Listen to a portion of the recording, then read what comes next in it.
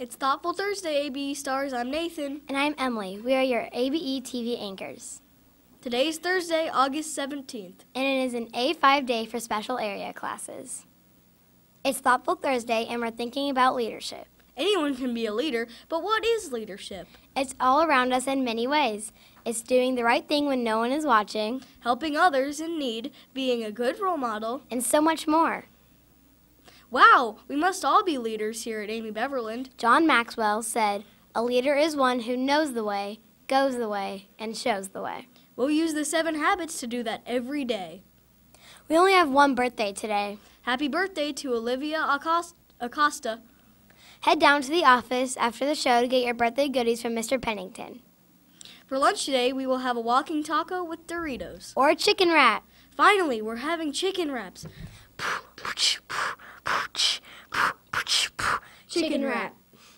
The sides will be cowboy salsa, carrot coins, and fresh broccoli. Yum. We always have a funny joke for you. This one's from Olivia in fifth grade. Why can't a man living in the USA be buried in Canada? I have no clue. Why? Because he's still alive.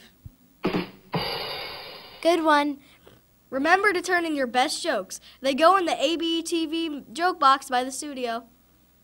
Mrs. Watson sent some of her fifth graders to our way to lead the pledge. Take it away, stars.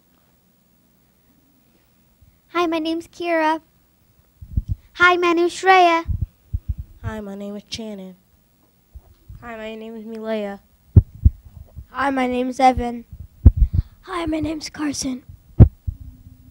Please rise for the Pledge of Allegiance. I pledge allegiance to the flag of the United States of America and to the republic for which it stands, one nation, under God, indivisible, with liberty and justice for all.